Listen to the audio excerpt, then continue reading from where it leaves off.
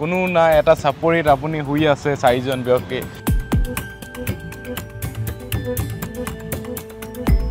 এই বৰষুণ দিয়া যিটো যাত্ৰা আৰু তুলনাত গৰম যাত্ৰাটো আমি গৰমৰ দিনত আমি বঠা মাৰিব নোৱাৰিছিলোঁ।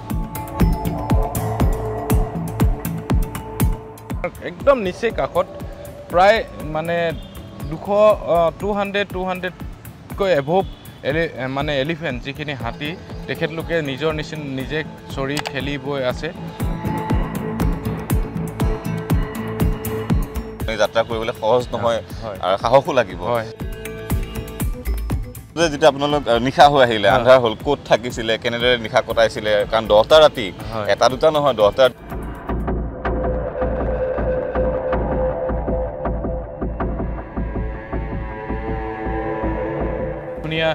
ডলফিন আপুনি আমি বঠা বাই গৈ আছোঁ ডলফিন জঁপিয়াই জঁপিয়াই গৈ আছে।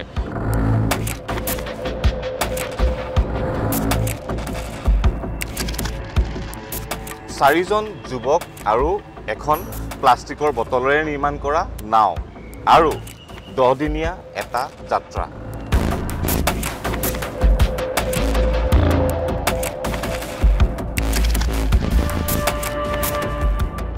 মই আপোনালোকক দেখাবলৈ বিচাৰিছোঁ ৱাইল্ড হৰ্চেছ মোৰ পিছফালে আছে এয়া চব ৱাইল্ড হৰ্চেছ এয়া মই দেখাব বিচাৰিছোঁ। এই যাত্ৰা কেনেকুৱা আছিল? ব্ৰহ্মপুত্ৰৰ মাজেৰে ডিব্ৰুগড়ৰ পৰা গুৱাহাটীলৈ তেওঁলোক আহিছিল। এই যাত্ৰা কেনেকুৱা আছিল? এই যাত্ৰাত তেওঁলোকে কি কি দেখিলে? এই যাত্ৰাৰ জৰিয়তে তেওঁলোকৰ কি কি অভিজ্ঞতা হ'ল? তেওঁলোকে ৰাতি কেনেকৈ কটাইছিলে? তেওঁলোকে দিনত কেনেকৈ নাও চলাইছিলে? গতিকে এই সমগ্ৰ যি অভিজ্ঞতা যি যাত্ৰা সেই যাত্ৰা সম্পৰ্কে জানিবলৈ আমাৰ লগত আজি উপস্থিত আছে ধীৰাজ বিকাশ গগৈ। তেখেতে এই যি যাত্ৰা আছিল যাত্ৰাত তেওঁ নেতৃত্ব বহন কৰিছিলে। ধীৰাজ বিকাশ গগৈ আপোনাক স্বাগতম দূৰদৰ্শনলৈ। প্ৰথমে আপোনাৰ পৰা জানিবলৈ বিচাৰিছোঁ আপোনালোকৰ যি এই যাত্ৰাৰ উদ্দেশ্য কিছু কথা জানিবলৈ বিচাৰিছোঁ। হয় আমাৰ যাত্ৰাৰ মেইন উদ্দেশ্যই হৈছে যে কি ব্ৰহ্মপুত্ৰখন প্লাষ্টিক মুক্ত কৰা।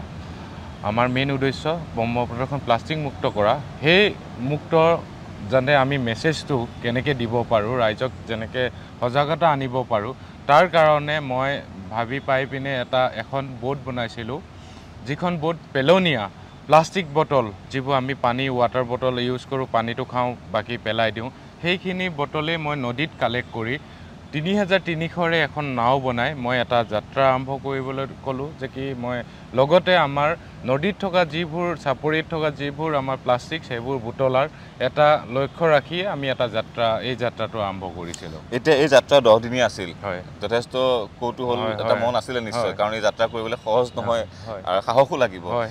সকলোতকৈ আপোনাৰ স্মৰণীয় মুহূৰ্ত বা ভয় লগা মুহূৰ্ত যিটো আতংকিত হৈ পৰিছিলে। দেখি ভয় লগা বুলি নাই প্ৰথমে আমাৰ টেনশ্যন যেতিয়া হয় যেতিয়া নদীখন মানে ফগিৰ যেতিয়া মানে কুঁৱলীৰে আমি দেখি নাপাওঁ ভিজুৱেলাইজ এইফালে দেখি। নাপাওঁ। আমি ছাইডত দেখি নাপাওঁ মাজত কি আছে দেখি নাপাওঁ যদি আমি চাওক এটা ডাইৰেকশ্যন আহি আছোঁ নদীখন ডাইৰেকশ্যন আছে নদীখন কেতিয়াবা কেতিয়াবা কি হয় আমাৰ ব্ৰহ্মপুত্ৰখন ক'ৰবাত ন কিলোমিটাৰ বহল আছে ক'ৰবাত সাত কিলোমিটাৰ ক'ৰবাত পাঁচ কিলোমিটাৰ তো আমি কি হৈছে যিটো মানে আমি যি ডাইৰেকশ্যনত আহি আছোঁ নদীৰ ডাইৰেকশ্যনত আহি আছোঁ। সোঁতৰ লগত। সোঁতৰ লগত আমি। সোঁত যিফালে বৈছে। আৰু যদি আমি বাই মিষ্টেক আমি বেলেগ এটা ছাইডত গুচি যাওঁ হয়তো আমাৰ তাত আকৌ উভতি অহাৰ আমাৰ বহুত দিগদাৰ হ'ব। সেইটো কাৰণে আমি ভিজুৱেলাইজ নহয়। সেই মুহূৰ্তটো আমাৰ পূৰা মানে কি হয় আমাৰ টেনশ্যনত থাকোঁ যে কি চাওক ইফালৰ পৰা জাহাজ এখন আহিছে আমাক দেখি নাপাব। কিবা এটা আহিছে আমাক দেখি নাপাব। সেই মুহূৰ্তটোৱে আমাৰ ভয় লগা মুহূৰ্ত। বাকী ৰোমাঞ্চক মুহূৰ্ত এটাই আছিলে মই যেতিয়া আমি যোৰহাট পোৱাৰ আগত আমি এটাৰ চাপৰিদি কাষেদি পাৰ হৈ আহিছোঁ আৰু পাৰ হোৱাৰ পিছত মই দেখিছোঁ আমাৰ একদম নিচেই কাষত প্ৰায় মানে দুশ টু হাণ্ড্ৰেড টু হাণ্ড্ৰেডকৈ এভভ এলি মানে এলিফেণ্ট যিখিনি হাতী তেখেতলোকে নিজৰ নিচিনা নিজে চৰি খেলি বৈ আছে।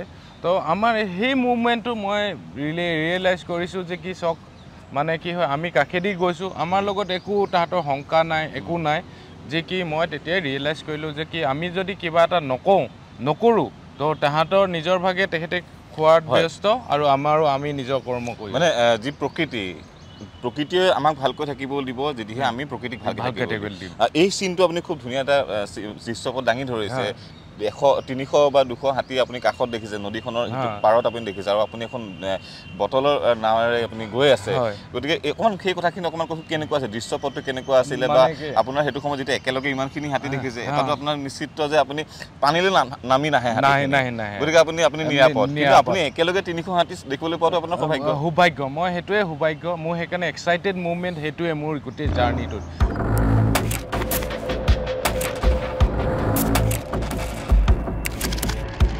মানে ইমানেই হাতী তিনিশ প্ৰায় আঢ়ৈশ হাতী যদি আপুনি একে লগ দেখে খাই আছে এটা চাপৰিত তো মানে কি এটা এটা সৌভাগ্যজনক মানে ইমানেই আছে যে কি হাতীখিনি মই ভাবিছোঁ যে কি বা ইমান বেছি হাতী আমিতোতো কাজিৰঙাত চাবলৈ আহোঁ হেৰি কৰিবলৈ আহোঁ। কোনটো জেগাত?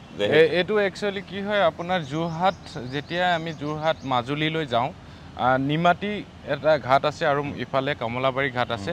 আৰু কমলাবাৰী আৰু দিচাং ঘাটৰ মাজত এটা চাপৰি আছে সেই চাপৰিটোত আছিলে মানে হাতী এলিফেণ্টখিনি। আৰু ইমানেই ধুনীয়া মই মোক তেহেঁতি ইমান ইমান কি হেৰি আছে সৰু সৰু পোৱালি আছে খেলি আছে। মনোৰমত দৃশ্য মানে যিহেতু পোৱালি জাকত খেলি আছে। জাকত খেলি আছে একদম নিচে কাষত খাই আছে খেলি আছে চিঞৰি আছে। তো আমি ভাবিছোঁ যে কি ছাইডেদি যেতিয়া গৈ আছোঁ প্ৰথমে ফটকনে ভয় লাগিছিলে যে কি দেখি পাইছোঁ ইমান হাতী আৰু এটা দঁতাল হাতী বহুত ওখ প্ৰথমে ৰখিছে। তো প্ৰথম দঁতাল হাতীটোক দেখিছোঁ যিহেতু তেখেতৰ হাইটটো বহুত মানে হাতীটোৰ হাইটটো বেছি। তো প্ৰথম দৃশ্যটো তালৈ গৈছে তেতিয়া ভয় খাইছিলোঁ হয়।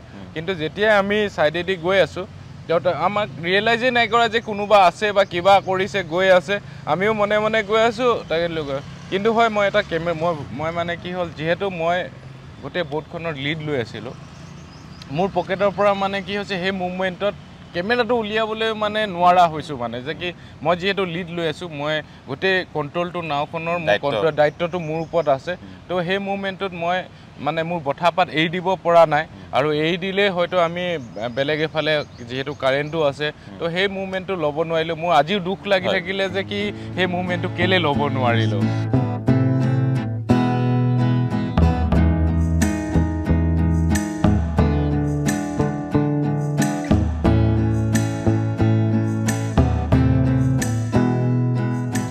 আপুনি যিহেতু দহটা দিন নাৱতে শুইছে নাৱতে খাইছে নাৱতে থাকিছে। আপোনালোকে দিন কেনেদৰে কাম কৰিছে এটা দিনত ৰাতিপুৱা শুই উঠি কেইটা বজাত শুই উঠিছিলে শুই উঠাৰ পাছত আপোনালোকে কিমান ঘণ্টা নাও চলাইছিলে তাৰপৰা ৰাতি কেনেকৈ আহাৰ গ্ৰহণ কৰিছিলে ক'ত কটাইছিলে নিশা এই কথাবিলাক জানিব হয়। আমাৰ আমাৰ কি হৈছে আমাৰ জাৰ্ণি পিৰিয়ডটো আছিলে আঠ ঘণ্টা আৰু চাৰি ঘণ্টা আমাৰ কি হয় চফা কৰাৰ আমি এটা হেৰি ৰাখি লৈছিলোঁ মানে আঠ ঘণ্টা বঠা মাৰিব কথা মাৰিম আৰু চাৰি ঘণ্টা তাৰে ভিতৰত বাৰ ঘণ্টাৰ ভিতৰত চাৰি ঘণ্টা আমি হেৰি কৰিম। এইটো কি কয় যিটো চফা কৰি আহিছোঁ যিহেতু আমাৰ মেইন উদ্দেশ্যই হ'ল প্লাষ্টিকখন ব্ৰহ্মপুত্ৰক প্লাষ্টিক মুক্ত কৰা। তো কি হয় আমি যিমান চৰ চাপৰি আছে যিমানটো পাৰোঁ প্ৰয়াস কৰিছোঁ যে কি এটাই হওক দুটাই হওক তিনিটাই হওক আমি নদীৰ মাজৰ পৰা আমি প্লাষ্টিকছ যি প্লাষ্টিকছবোৰ আছে প্ৰদূষণ কৰি আছে সেইখিনিক উঠাই আনি আমি মানে বেলেগ বেলেগ জেগাত হেণ্ড অভাৰ দিয়াৰ আমাৰ মানে আপোনালোকে গোটেই যাত্ৰা পথত যিসমূহ নদীৰ কাষত প্লাষ্টিক যিমানখিনি আপোনালোকে পাৰিছে সেই উঠাইছে আৰু সেয়া বাহিৰত হেণ্ড অভাৰ কৰিছোঁ। যোন যেনেকৈ যাকে পাইছোঁ আমি তাকে কি হৈছে সেই প্লাষ্টিকখিনি হেণ্ড অভাৰ কৰি দিছোঁ। হয়। আৰু আৰু যেতিয়া আপোনালোক আঠ ঘণ্টা বাৰ ঘণ্টাৰ দিনটোৰ তাৰে চাৰি ঘণ্টা আপোনালোকে চাফা কৰোঁতে গৈছে। আঠ ঘণ্টা আপোনালোকে আঠ ঘণ্টা non stop non stop non stop আহিছোঁ। যিহেতু আমাৰ গতিবেগ চাওক আমি পাঁচ কিলোমিটাৰ পাৰ এভা পাঁচ কিলোমিটাৰ মানে পাৰ আৱাৰ্ছ মানে আমাৰ গতিবেগ সিমানটোৱে আছে। তো আপুনি একদিনত আমি হাৰ্ডলি আঠ ঘণ্টা চলালে চল্লিছ কিলোমিটাৰহে যাব পাৰোঁ। আৰু আমাৰ ডিব্ৰুগড়ৰ পৰা গুৱাহাটীলৈকে জাৰ্ণি আছিলে আমাৰ পাঁচশ ত্ৰিছ কিলোমিটাৰ। তো আমি সেই জাৰ্ণি আৰু সোঁতটো যথেষ্ট আছিলে। বহুত আছিলে। আৰু আঠ ঘণ্টা যেতিয়া আপোনালোক চাৰিজন মানে বঠা মাৰি থাকিব হাতৰ বিষ বিষ হয় সেইটো মানে সেইটো কিন্তু এটা মানে মুভমেণ্ট এটা আছিলে হেঁপাহ। হেঁপাহৰ কাৰণে যেতিয়া মানুহ এজনৰ হেঁপাহ থাকে নহয় যিকোনো দুখ কষ্ট থাকিলেও মানে পাহৰি যোৱা হয়। আমাৰ যিটো কষ্ট হৈছে কিন্তু আপুনি আমি চাওক আমাৰ আমাৰ প্লেনিং এটাই আছিলে যে কি দিনত আমি খানাটো খাব নোৱাৰোঁ যিহেতু আমাৰ টাইম লিমিটেড তো আমি সেইকাৰণে ৰাতি ৰাতিয়েই আমি ৰাতি খাইছিলোঁ আৰু ৰাতিপুৱা খাইছিলোঁ। আৰু দুটা টাইমে আমি খাই পিনে জাৰ্ণিটো আৰম্ভ কৰিছোঁ। খাদ্যৰ কথা পাতিম। আপোনালোকে আঠ ঘণ্টা বাৰ ঘণ্টা আপোনালোকে আপোনালোকৰ দায়িত্ব পালন কৰিলে। আপোনালোকে হেঁপাহৰ বুলি জোৰতে কৈছোঁ। হয়। আহ, তাৰ পাছতে যেতিয়া আপোনালোক নিশা হৈ আহিলে আন্ধাৰ হ'ল ক'ত থাকিছিলে কেনেদৰে নিশা কটাইছিলে কাৰণ দহটা ৰাতি। এটা দুটা নহয় দহটা ৰাতি বিচনাখন নোপোৱাকৈ কোনোবাই বালিত শুই থকাটো কম কথা নহয়। হয়। গতিকে সেই কথাখিনি হয় আমি নিশা ভাগৰ নিশা ভাগত বৰষুণৰ কাৰণে আমি কি হয় বৰষুণ আৰু বতাহৰ কাৰণে আমি এটা চেল্টাৰ তৰি লৈছিলোঁ। আৰু আমি শোৱাটো হয় আমি এখন কাপোৰ বালিত পাৰি লওঁ আৰু শুই যাওঁ। বালিত ধুনীয়াছে শুই যাওঁ বালিত শুওঁ। আৰু খোৱাটো আমি সেনেকৈ বনাই খাইছিলোঁ। পৰাপক্ষত আমি বেছিভাগ সময় আমি ভাত আৰু নিমখেই আমি কটাই দিছিলোঁ। ভাত নিমখ যদি আমি। বনাইছিলোঁ।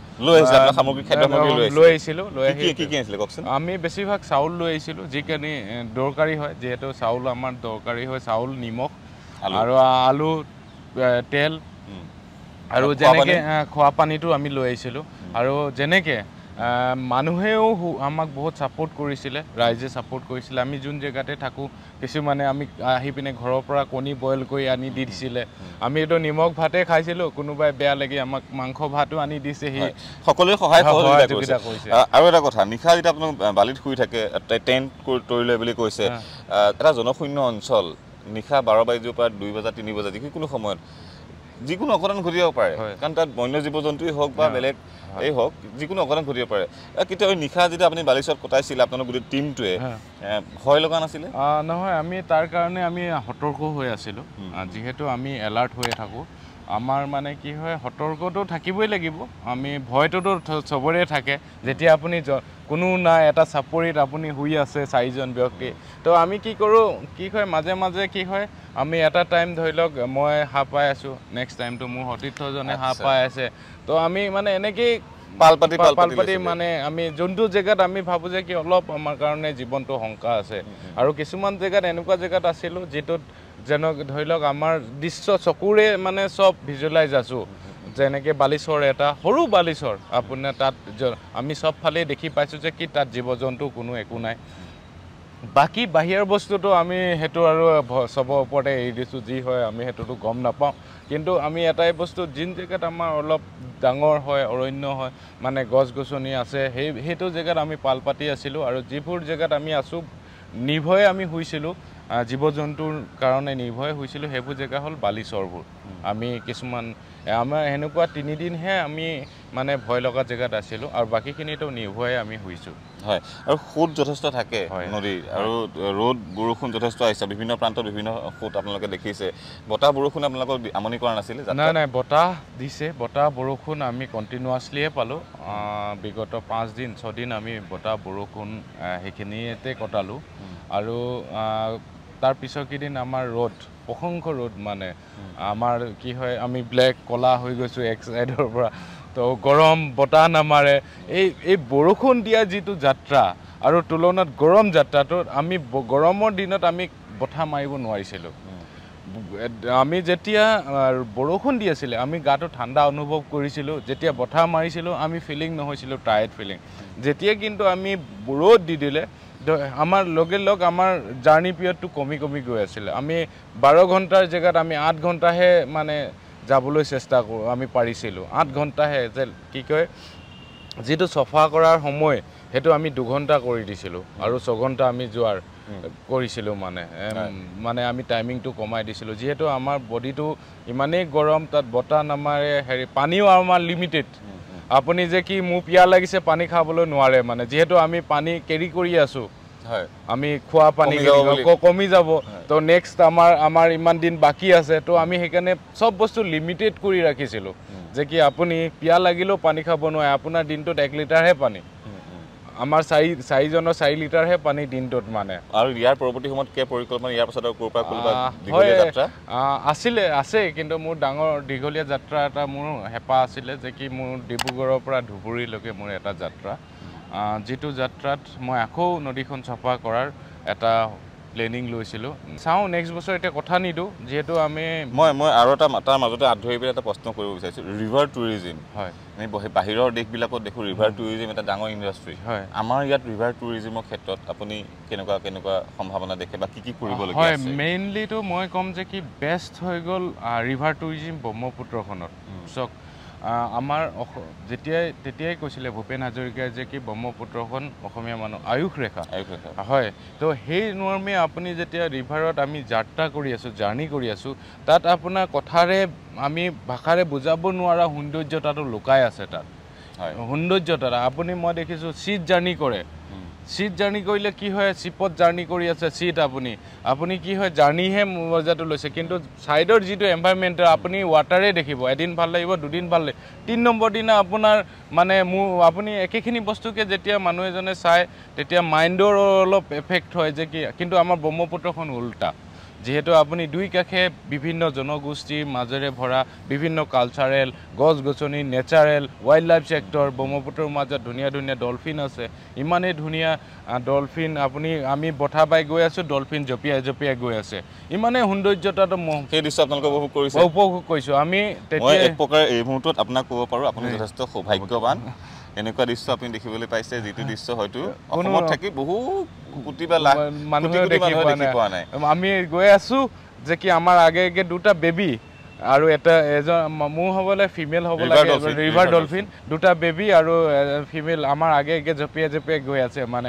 আমি ভাবিছোঁ ইমানেই সৌভাগ্য আমাৰ ইমানেই দেখিবলৈ আছে যে কি আমাৰ ইমানবোৰ সৌন্দৰ্যতাটো লুকাই আছে লুকাই আছে। পেলিকান দেখিছোঁ আমি এলিফেণ্ট দেখিছোঁ ৱাইল্ড লাইফতে কওক বা নেচাৰেল ক্ষেত্ৰতে কওক জনগোষ্ঠীৰ ক্ষেত্ৰতে কওক আপোনাৰ এগ্ৰিকালচাৰৰ ক্ষেত্ৰতে কওক কি নাই ব্ৰহ্মপুত্ৰৰ মাজত লুকাই আছে আমি